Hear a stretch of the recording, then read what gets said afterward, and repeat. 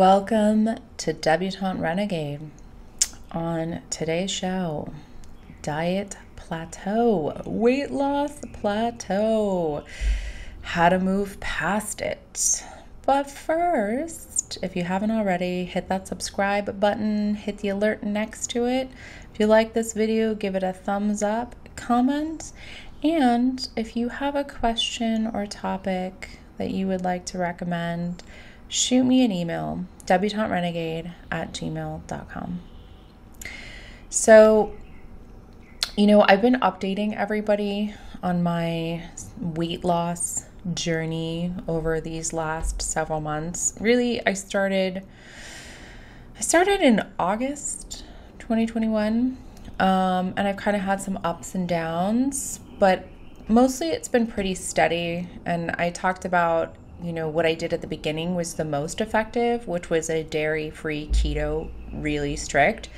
There were some pros and cons to that. Um, it was really it was really tough because it was so restrictive and i also depleted myself of some essential nutrients in the process of that um, but it worked really well and then since then i've been doing an overall lower carb diet with intermittent fasting at an 18 19 20 hour interval and still having good results but slow, like really slow going. Whereas the keto was super fast. It just like melts the fat off your body quickly. And that is wonderful. Um, the intermittent fasting is slower, more like, you know, more like a pound a week type weight loss. A pound a week, maybe pound and a half every two weeks, something like that. Just like three or four pounds a month kind of weight loss, which is still great and it's still progress, but definitely slower. Um, however, I do feel like in April, I want to say like April, I feel like I plateaued a bit, like I stopped dropping. And I think there are some reasons for that. I was really sort of enjoying about the 18, 19, 20 hour fasting that I could, um, you know, I could kind of have my cake and eat it too. I could just not eat for 20 hours and then really just have like a meal and a half in my eating window, in my four hour eating window. And, you know, if I had a lighter, an overall kind of lighter, healthier meal, I felt like I could, you know, maybe have a little bit of sugar or this or that. But I think that those behaviors started to make me plateau, you know, maybe having a little more carbs than I should, a little little bit of sugar when I shouldn't. Because really, if you want to be losing weight, you can't really be eating sugar. Ah, it's tough, especially when you like sugar, which I do. Yeah, I like sugar, but I just can't really have it when I'm losing weight. Maybe like once a week, like a frozen yogurt or something like that, but you can't you just can't really be having it on a regular basis. So I, I was just, I kind of started having a little more sugar here and there um, maybe a little more potato, maybe a little more carbs. And I just, I wasn't gaining weight, but I just kind of plateaued. I just stopped losing. Um, so, and I'm not ready to stop yet. You know, I feel good with where I'm at, but I, I want to keep going. Um, and, and yeah, I want, I want, I still want to get back in my pre-preg pants and they're not, they're not comfortable yet. Like I could wear them maybe with like a loose shirt, but they wouldn't be comfortable. So I want to get those comfortable and I just, you know, I want to get to a place that I, I know feels right for me. So I don't want to plateau. With that said, I've in the last couple weeks I've been doing some things to try to get past the plateau. And I just wanted to share. Just wanted to share what I've been doing. One, I have been exercising more. I have been upping the ante on my workouts. I've been going for more bike rides. I've been going for hikes with steep incline hikes. I even started doing some interval type HIIT training again, like box jumps, planks, push ups, squats, that type of thing. Um, even doing the jump rope a little bit. And and I've also been doing my yoga. So, and I'm trying to do, I'm really trying to work out six days a week. So that's one thing that I'm doing to try to push past my plateau. Whereas before I was probably doing like three three days a week solidly, maybe three to four days a week exercise. I'm, I'm pushing it to six. I'm pushing it to six to, to get past my plateau. And in addition to that, I'm I'm doing a couple things to kind of surprise my body because I think sometimes our body gets in the habit of certain things and so we have to kind of surprise it. So I had a few days last week. I haven't been as good about it this week. This week I've been doing more of just the kind of intermittent fasting. But last week I did a couple days where I was strict keto, but I didn't do intermittent fasting. I ate something in the morning. You know, I did like kind of three small meals throughout the day that were keto um, instead of doing the intermittent fasting. So I did that. That felt good. It felt like I was surprising my body a little bit. So I kind of want to switch back and forth between, you know, eating smaller meals more frequently and days where I do 19, 20 hour fasting. So I kind of surprise my body. And then I want to have, you know, some days where I do keto for several days in a row.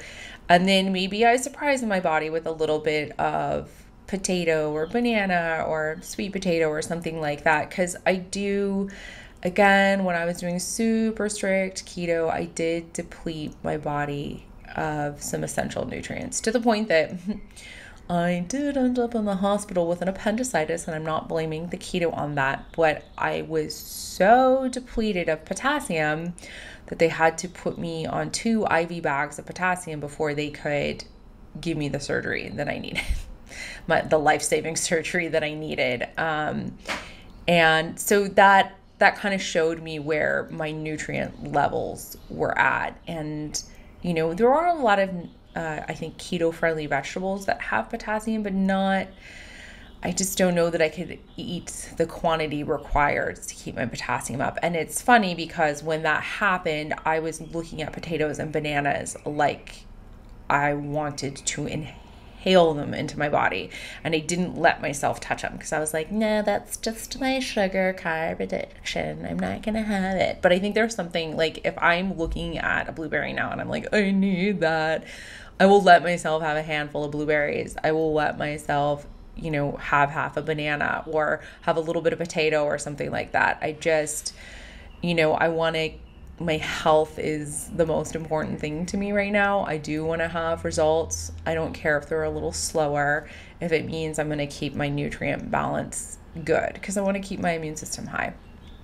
Um, anyway, so that's kind of my journey. I'm exercising more and I am doing I am doing some strict keto days though where you know, those I am being strictly keto on some days, and I'm kind of mixing it up between doing 18, 19, 20 hour fasting and then days where I just eat smaller meals more frequently. So, this is what I'm doing to try to break through my plateau. I think I might be starting to get to the other side of the plateau, um, but I'm not sure. And again, I'm not using the scale I don't like the scale. I'm using measuring tape. So it's a little slower for me to see. It usually takes me a few weeks to see if what I'm doing is working because I go based off of um, measuring my waist with measuring tape because that's really what I care about is is shrinking my waist size. So that is that's my goal. I don't actually care what the number on the scale says. And as somebody who used to do Olympic weightlifting and has done a lot of weightlifting and has more muscle mass on my body, I don't really like going based off of the scale, especially if I start working out more. If I'm going based off of the scale, I could get discouraged, you know, and I don't want to get discouraged. It's for me, if my waist measurement is going down, then I'm doing what I need to do, then I'm doing the right thing. Um, so that's how I that's how I manage my weight loss. That's how I gauge it. And since I started in August, I've lost four inches in my waist. So I know it's working. I can tell by the way clothes fit. You know, my jeans that I was wearing then, too big for me now. You know, I'm I'm into smaller jeans. Um, so that's how I know what's working. So I need, I probably need a couple more weeks to see if these tricks that I'm trying to move past my plateau are working, but I'm just, you know, I'm being more responsible about having less sugar, less carbs, having some strict keto days in there, and then mixing it up between doing 18, 19, 20 hour fasting and then certain days where I don't. Where I don't. That way, my body will be surprised by the fast. Then there are days where I'm giving my metabolism the opportunity to work frequently, to be fast, to to have small meals frequently. So I don't know if it'll work. You know, it's all trial and error. Um, doing the best I can. Hopefully, you know, I'm, I'm determined to kind of to kind of reach my goal, and I will keep all of you out there updated on my progress wish me luck. Hopefully, I can get past my plateau. We've all been there before, right? It happens. It happens, especially when you're like getting closer to your goals. I feel like it gets harder. I feel like that's where the, the plateaus really happen. But yeah, I'm hoping by the middle, end of the summer, I can be well past my plateau and feeling really good. So, to anyone else out there, if you've reached a plateau and gotten past it, I'd love to hear what you did, how you did it, um, and what your results are. Are they lasting? Anyone who's got any tips that have worked, I'd love to hear. And if this was helpful for you, then I'm so happy. Thank you so much for watching. If you got a question, topic of your own, shoot me an email, debutanterenegade at gmail.com. Hit that subscribe button, give me a like give me comments. See you in the next one. Have a beautiful rest of your day.